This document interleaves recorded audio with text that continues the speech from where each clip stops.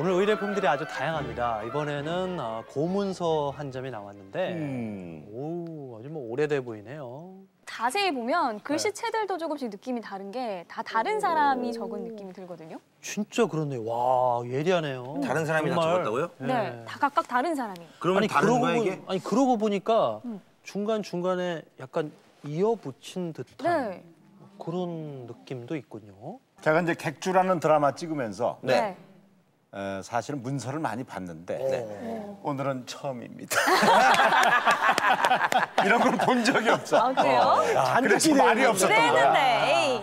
알겠습니다. 그럼 예. 의뢰인 한번 모셔보고 네. 힌트를 얻어보도록 하죠. 의뢰인 나와주십시오. 반갑습니다. 어이구. 오, 젊은 분이 나오셨는데, 아, 근데 좀 저희는 좀 감이 잘 안 와요. 예. 혹시 의뢰인은 어떤 문서인지 잘 알고 계시나요? 네, 아버지께서 그 집안에 내려오는 문서라고 해서 되게 음. 귀하게 보관하셨던 건데요. 네. 사실은 어떤 내용의 문서인지는 저도 잘 모르고 아버지도 잘 모른다고 하십니다. 그래요. 예. 그러니까 한문으로 적혀 있어도 그냥 갖고만 있었다 이 얘기죠?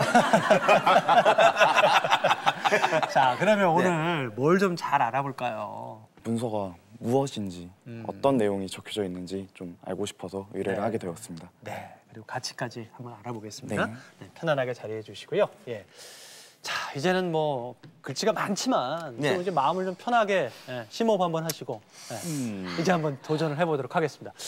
뭐라고 혹시 뭐 아는 글자나 네. 힌트가 될 만한 게 있을까요? 이렇게 보시면 일단은 예. 저뭘 이렇게 막 찍어놨네.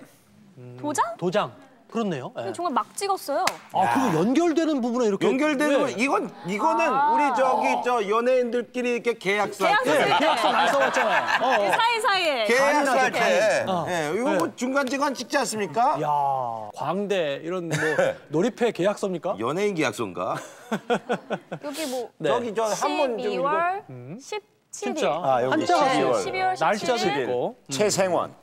네. 어, 최생원. 최생원, 예. 야. 그게 읽어져요? 자, 좋습니다. 그러면 네. 이제 정말 우리가 할 수 있는 거는 충분히 최선을 다해서 다 알아본 것 같아요. 아, 그럼요. 더 이상 못 연예인 계약서까지. 나왔으니까. 네. 예.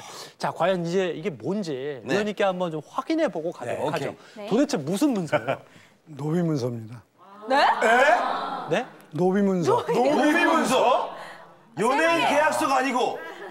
노비를 사고 팔고 관에다가 이제 신고를 하고 관에서 그거를 받아서 이제 이게 완전하다고 하는 걸 보여주는 이게 다 들어있는데 두 번째 장에 있는 것이 노비 매매 문서예요. 아, 요게요. 예, 아, 두 번째가. 네. 그러면 그 노비를 매매를 한 다음에 네. 그산 사람 쪽에서 첫 번째 장은 관에다 신고를 합니다. 소장의 첫 번째 장은. 아하. 그세 번째 장 있죠.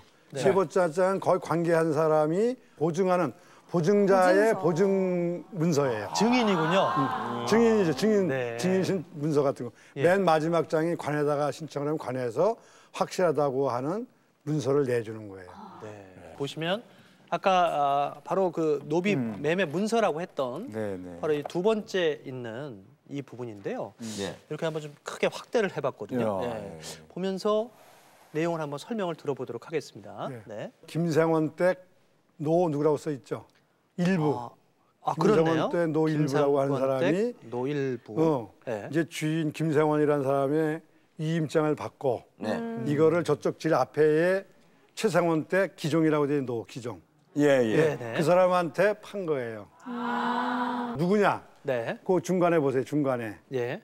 노삼봉이 나이가 서른여덟이라고 돼 있죠. 네. 노삼봉 38세. 그 사람을 판 네. 겁니다. 아 그렇군요. 그러니까 최생원 댁, 김생원 댁이 노비를 이제 거래를 했군요. 거래한기로. 그러니까 노비 이름이 삼봉인가요? 그렇죠. 여기 노삼봉 나이도 있어요. 38세. 38세. 좀 마음이 사람이 아파요. 사람을 네. 그쵸. 다 사람은 평등하고 귀한 건데 예. 누가 누구를 사고 판다는 것 자체가 좀 마음이 아프고. 그렇죠. 예. 근데 더군다나 김생원 댁 노비랑 최생원 댁 노비가 서로 매매를 해요? 왜 그 직접 안 나오고요? 예전에 양반 조선시대 때 양반이라는 사람들이 돌을 만지면 안 된다는 그런 게 있어요. 돈이요? 아. 예. 그게 실질적으로는 양반이 나서지는 않아요. 그럼 종한테 이제 이임장을 보내면 조용히 길 가지고 이제 매매하는 겁니다. 중간에 그쪽도- 이렇게 한 예, 사는 사람도 마찬가지. 그러니까 지금 복덕방 노릇을 종이 하는 거예요. 아. 그렇군요. 예. 떡방. 예. 자 그렇다면은 이 부분을 보시면 여기 한자로 팔량이라고 쓰여져 있습니다. 이게 여덟 팔자는 아닌데 음. 왜 이제 어, 계약서나 이런 데 보면은 위조하지 말라고 따로 아. 이제 의무로 이렇게 도금을 해서 하잖아요. 그렇죠. 네. 예, 예. 팔량입니다. 팔량. 어, 네. 여덟 량. 예, 그렇죠. 예. 이 여덟 량, 팔량을 주고 노비 삼복을 매매를 했어요. 아. 그러면 지금으로 따지면 얼마 정도의 가치인 거예요? 궁금하지 않습니까? 네. 과연 지금으로 따지면 얼마 되는지. 얼마죠? 그게 키지. 인형 퀴즈. 자, 과연 당시에 잘 들으셔요. 당시에 여덟 량은 아, 쌀로 따졌을 때 어느 정도의 가치였을지. 1번 쌀 10가마니. 2번 쌀 50가마니. 3번 100가마니. 4번 200가마니. 감 잡았어. 네. 백가마. 100가마. 네. 더 이상 내줄 수가 없어. 예, 예. 200, 200. 예. 200 가마는 될 것 같습니다. 달리 가겠습니다. 저는 네. 50가마 2번. 허허. 50가마. 예. 과연 어느 분께 인형이 갈지. 자, 정답 뭡니까, 위원님? 그만 피해 갔네요. 10가마요? 열감한데 아, 야. 근데 이게 이 문서가 1737년이에요. 근데 그때 열감하면 좀, 좀 싼듯하죠. 예. 그 정도면 그 당시에 아주 초라한 집 정도 값도 해당하는. 집값 정도. 아. 몇 가마니가 중요한 게 아니라 어떻게 또 사람을 그렇게 사고 판다는 것 자체가 다 슬픈 그렇죠. 일이죠. 당시의 그 생각들을 좀 아, 지금으로서는 이해가 도저히 안 이해가 되죠. 음. 그뿐만이 아닌 게요. 여기 네. 보시면 사람을 한 명, 두 명 이렇게 써야 될 거 아니에요. 네. 여기는 보세요. 19라고 쓰여 있어요. 19. 입구자만 써서 사람을 한 명, 두 명 이렇게 안 하고 그냥 19, 29 이렇게 표현을 한입. 후입. 예. 이게 이제 뭐 사람 대접을 거의 못 받았다는 거죠. 슬픈 일이네요. 아 속상하죠. 예. 아 분위기가 참 분위기 전환하려면 또 이제 인형 퀴즈만 한 게 없습니다. 아, 인형 좋죠. 퀴즈를? 하나 드릴 네. 텐데 또 혹시 또 객관식 다 피해 가실까 봐 주관식으로 드리겠습니다. 아, 그래요? 어려운데, 네. 어, 절망적이네요. 네. 네. 자 보시면 음. 무슨 게 그림이 그려져 있습니다. 그러니까요, 예. 네. 어, 이게 무슨 그림이 그려져 있어요? 궁금했단 과연 말이죠, 이게. 뭡니까? 오른손잡이 왼손잡이. 아 그걸 이게 나타낸 거다. 오른손잡인지 왼손잡인지. 네. 저는 이 손가락의 크기를 그러면 네, 잰게 이 마디, 네. 그 좌우 마디를 네. 손가락으로 잰 것이 아니냐. 아 이 사람의 키가 키를- 아니라 가늠하기 위해서. 상 가늠할 수 있지 않냐. 어, 예, 예. 맞아요. 맞는 것 같아요. 어, 예. 그러면 두 분은 손가락? 네. 김학철 씨도? 기가 막히게 똑같았어요. 김학철 씨는? 예. 오른손 안가. 머리가 갑자기 복잡해집니까? 저도 손가락. 아, 그렇게 아, 상을 손가락. 많이 하시고. 손가락에. 손가락은 맞습니까? 맞습니다. 이건 뭐 아니 근데 진짜로 딱 보면 어, 마디가 손가락 정확해요. 마디 하나 정도 되는데 네. 이걸 왜 그려놨을까요? 원래 그게 일종의 지금의 서명 대신하는 겁니다. 사인을 할 수 있을 정도 노비가 공부를 안 하니까 아. 대부분 오른손으로 하고 왼손으로 좌촌이라고 되어 있는데 좌에 긴 손가락을 대고 모양새를 하는 거예요, 마디로. 그러니까 손가락 마디가 두 개잖아요. 야. 점이 두 개 찍혀 있죠. 그래서. 제가 정확하게 맞췄죠. 정확하게 맞췄습니다. 그세 분이 다 하나씩 드리면 됩니다. 예. 야 아, 일종의 서명이었군요. 네. 그렇죠. 일종의 서명이죠. 야, 그런데 김학철 씨, 네. 이게 인형 퀴즈는 아닌데 갑자기 궁금해진 게 있습니다. 만약에 그 노비와 양민이 결혼할 수도 있잖아요. 그렇죠. 네. 그럼 그 자식은 노비가 되는 걸까요? 아니면 양민이 되는 걸까요? 한쪽이 양민이면 네. 인간적으로 좀 양민으로 해주는 게 낫지 않을까요? 아, 제가 이렇게 인간적이에요. 아니 그게 아니라 내가 봤을 땐 그냥 그대로 있을 것 같아요. 아, 노비가 왜냐하면. 그때 네. 뭐저 아버지를 아버지라 부르지 못하고 형을 어, 형이라 부르지 맞아, 못하고 맞아. 그런 얘기 있잖아요. 네, 네, 네. 그러니까 그대로 갈 것 같아요. 저는. 네. 네. 아 이것도 진짜 궁금한데요. 그런 경우 있을 수 있잖아요. 결혼하는 경우. 예, 그런데 법률적으로 법전에 종목법으로 되어 있기 때문에 무조건 어머를 쫓아가게 돼 있어요. 씁쓸한 마음입니다만 또 우리 역사의 한 단면이니까요. 예. 노비 매매 문서를 한번 살펴봤습니다. 그나저나 이런 문서는 어떻게 우리가 또 감정가를 매겨야 되는 거예요? 예.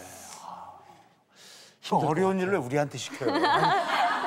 그래도 그 어려운 일을 해내셔야 됩니다. 예. 자, 아유, 그러면 60초 시간을 더 드릴 테니까 좀 알차게 네. 사용해 보시죠. 60초 최종.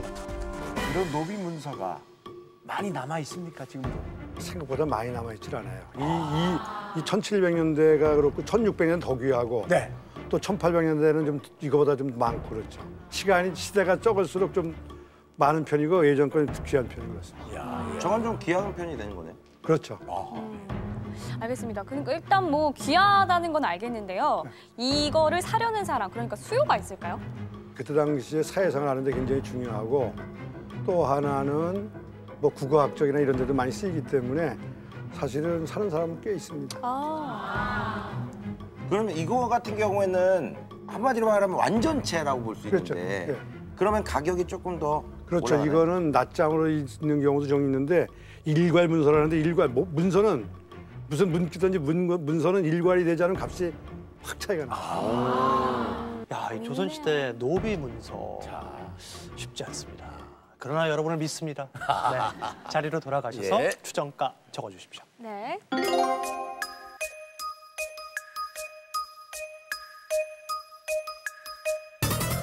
자, 이제 어렵게 어렵게 추정을 해주셨는데요. 김학철 씨는 천만 원을 적으셨고 황보미 씨는 700만 원, 정종철 씨 500만 원. 네. 예.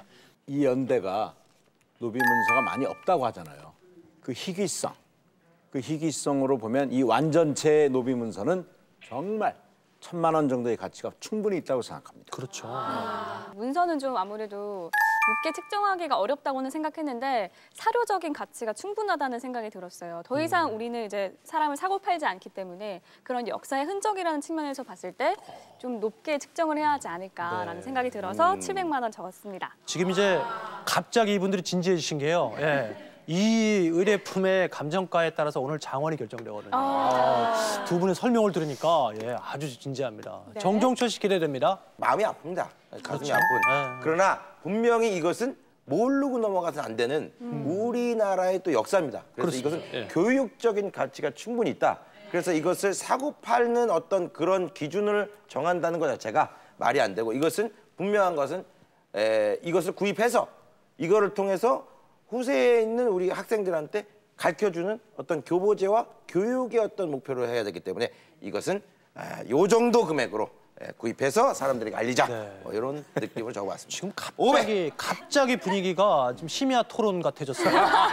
야 아주 진지하고요. 그 서- 해주신 설명들도 충분히 일리가 있습니다. 의뢰인께서는 300만 원 적으셨네요. 네 어떻게 추정하셨습니까? 말씀하시는 걸 들어보니까 조금 더 제 생각보다는 가치가 높지 않은가 해서 이만큼이 적정하다고 생각해서 적었습니다. 네 알겠습니다. 감정가 확인해 보겠습니다. 최종 감정가 보여주세요. 자 1900. 7, 아, 1737년입니다. 1737년 노비 매매 문서. 자, 과연 얼마의 감정가가 나올지 가늠이 잘 안 되는데 천만 원입니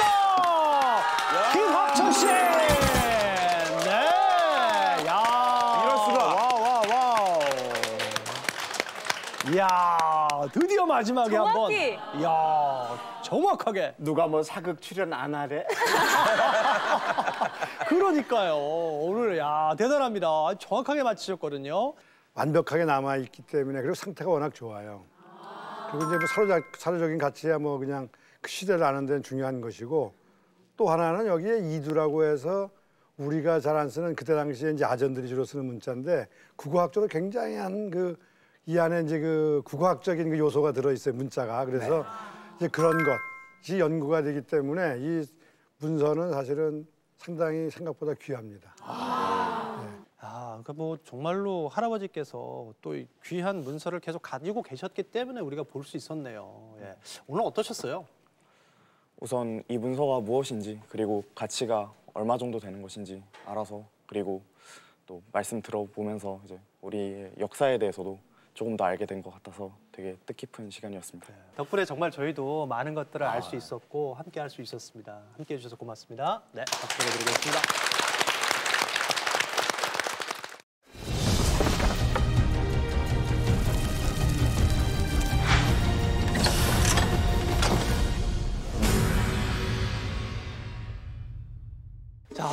이처럼 이렇게 많은 인형을 탄 적도 드뭅니다. 예, 아, 세 분의 활약이 엄청났는데요. 오늘의 장원 역시 관록의 김학철 씨입니다. 축하드립니다.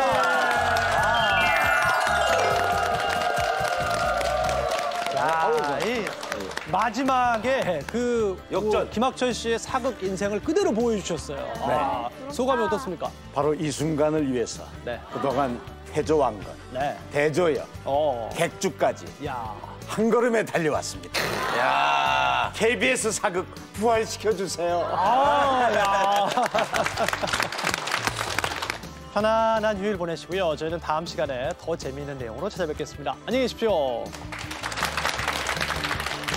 아유, 고맙습니다.